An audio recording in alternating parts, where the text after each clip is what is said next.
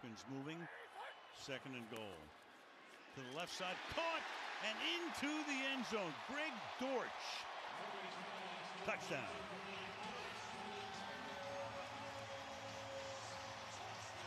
Justin Evans gives a big cushion,